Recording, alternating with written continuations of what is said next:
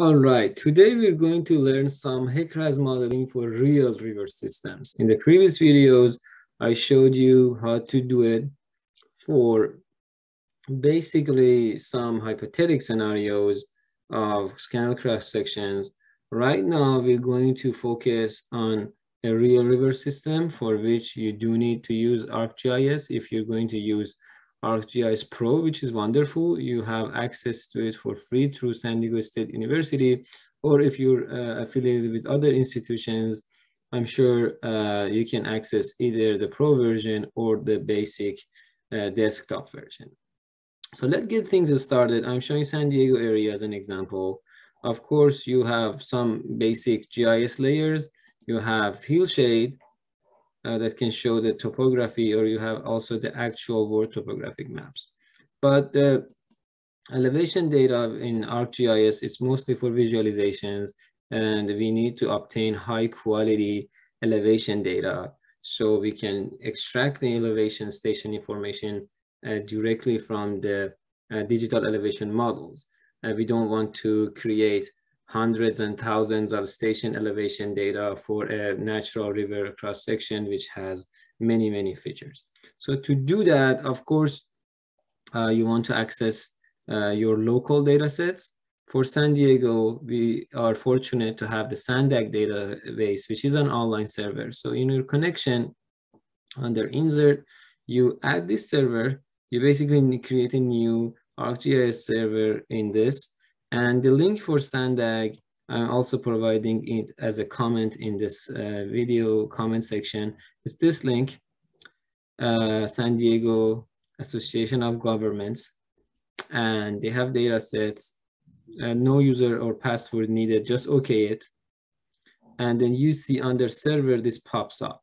So this is San Diego, and you open it bunch of information is available here. Census data, elevation data is what we want to use today. Anything you can imagine, any imagery, any land uses, any parkings, anything related to transportation, uh, all the highway lines, bike lines, uh, anything you can just think about that could exist for GIS data like railroads. So let's get back to the elevation data, which is the focus for today's work. Elevation, we have the regional DEM. We have uh, also 2014 version of it. Let's just uh, bring the regional one. You can see the elevation data for the entire county of San Diego is available. And they have different versions if you want to compare. Uh, they also have the Western version.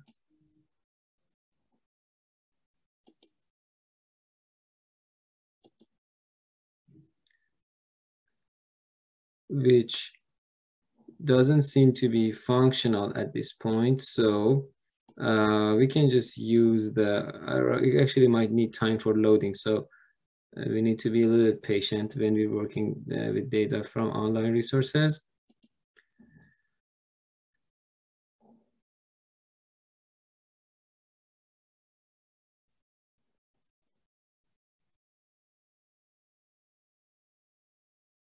So one layer, uh, actually the top layer is contours. We're not going to use that. We're going to use the actual digital elevation models. And it's loading, as you can see, it's, it's a heavy file, it takes time. So we can turn that off for now and, and focus on the area that we want to do some modeling. So for today's presentation, I am doing this for uh, this open channel discharging to this pond before entering the San Diego River. So I have, a me turn on my hillshade so I can see what's happening. Yes, there is an open channel here, as you can see. Uh, I can turn off this. So this open channel goes to the pond. So what I need is definitely cutting some cross sections and understand the shape of open channel using the digital elevation model. For that, uh, I have the entire DEM file, which is a huge, huge file. I just need to clip a portion of it. And uh, that's an easy thing. Uh, if you're using geoprocessing tools, you can definitely import your layer. So let me remove the contours that we're not using. Let me turn this on. It's a good idea to save your workbook so you don't lose any data. You drag and drop this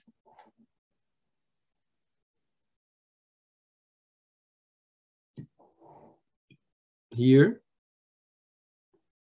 So you have San Diego region Regional DEM, but you need to define the extent of the clipping.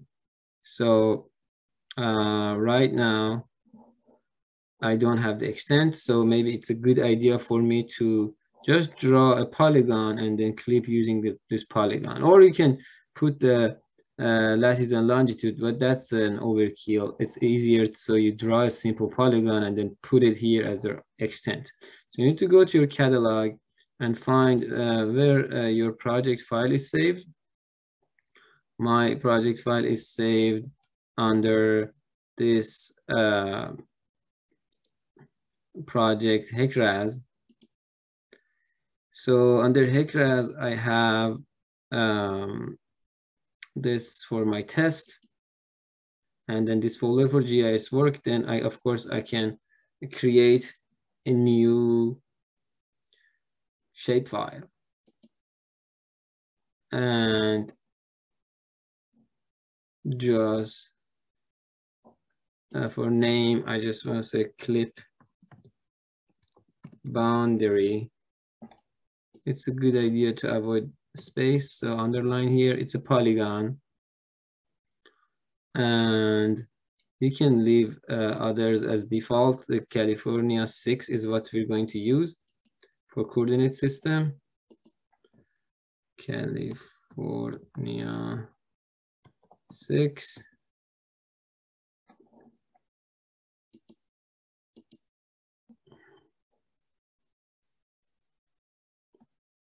and that's under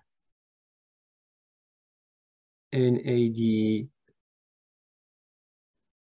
1983 2011 version is up to date so California 6 uh, so the reason I typed here because if I remove this you're going, you're going to see thousands of project system for the entire world. So you just narrow it down to California 6 that's the most appropriate for San Diego uh, uh, geographic system and then you okay it or you can always favorite this you don't need to search every time.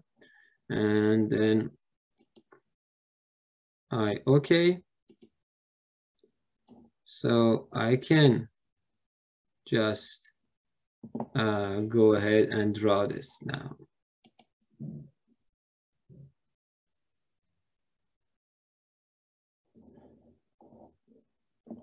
So now I can edit this.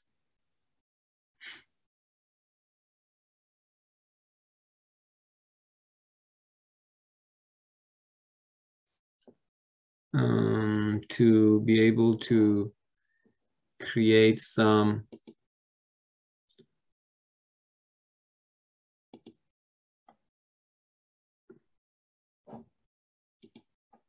So I want to basically draw a polygon from here to here, some part of the pond maybe to here and to here. So that's my polygon. You can now save this and save all edits, yes. All right, now that you have this boundary for clipping, you can go ahead and do the clipping. So under geo, geoprocessing tab, uh, type clip, and it's gonna show you a bunch of options. what you're doing here is just clipping a raster. So that's the one you should pick. Of course, uh, you want to first bring this big guy for the entire county. You can see it's a massive extent. You don't need the whole part of it. Your boundary can easily drag and drop. So this is being updated. Uh, just save it uh, it's uh, giving you option to save it in your project folder under the Geo mm, database that you have, the GD file. So leave it as is, and then you can extract out of it later to save it to whatever folder you want. So I'm just running this. It takes some time reading data from cloud and do the clipping and save it. So it's done. And you can see, yes, it makes sense. It's giving you elevation you can see there's a channel, there's a part of the pound. So you can model this part and see how it's going to function for you. And uh, this is still is saved in the Geo database. It's not the best format for the HEC-RAS software. We need to do some uh, post-processing. And that post-processing is basically, we need to convert this to TIFF. To convert this to TIFF, uh, there are multiple approaches. The easiest one is that you basically, you have this DEM on your geodatabase already saved and showing in your work session. So just click right click data and export raster. So this window comes up. It asks you uh, where you want to save this. Now you can choose any folder you want. This is being now outside. You can pick your desktop folder or whatever just to uh, this PC. I'm saving on my desktop and pick a name for it. I want to call it Valletta Street is the address uh, for this dot tiff and this is the right state plane projection California 6 and uh, then no transformation needed.